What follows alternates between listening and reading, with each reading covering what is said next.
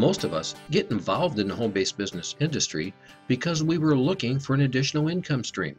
Now, having said that, it is just as important to know that most of us who are involved in the home based business industry have turned down people who have offered us an opportunity to join them in their endeavors. Why? Because we weren't in the looking zone when they contacted us. Now, here's why this information is important. The numbers tell us that approximately 20% of the marketplace fits the profile of a home based business owner. The numbers also tell us that at any given time, approximately 10% of those people are in the looking zone. What that means is, out of the 315 million people in the US, only about 62 million fit the profile of a home based business owner. And that means, at any given time, approximately 6 million are in the looking zone. Now, if all you do is go looking for the people in the looking zone and we do not have a program for the rest, we are not working smart. Only about 2% of the marketplace is in the looking zone. Most people give up building their home based business long before they're able to create a sustainable income because of these numbers. In fact, most people never get to break even working these numbers.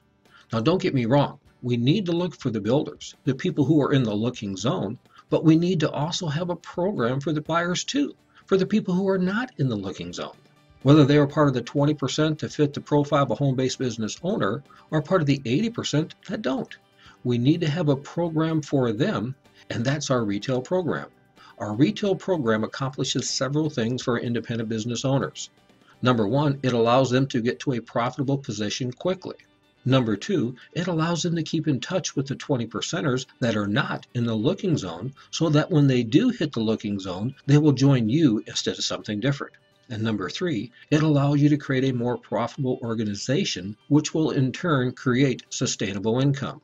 There are several different strategies that you and your organization can use to identify buyers. The purpose of this presentation is to not get into those strategies, but to provide you with an example of income based on a retail program.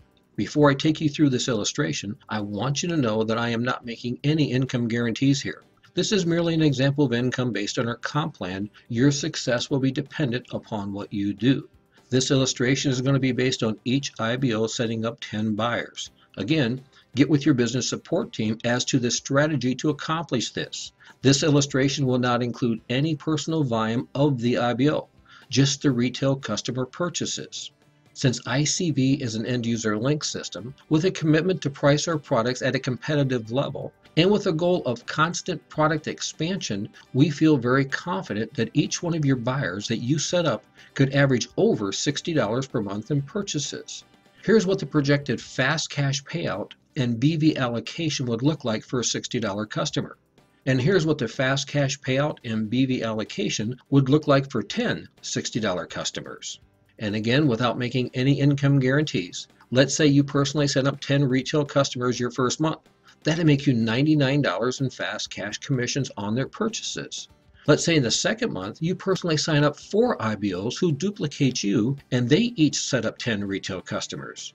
In month number two, you'll make $257. $207 in fast cash, 99 from your 10 customers, and 108 from your four IBOs customers, plus $50 in binary commissions. And again, I want to reiterate, this illustration is based just on retail customers only. This does not include any IBO purchases.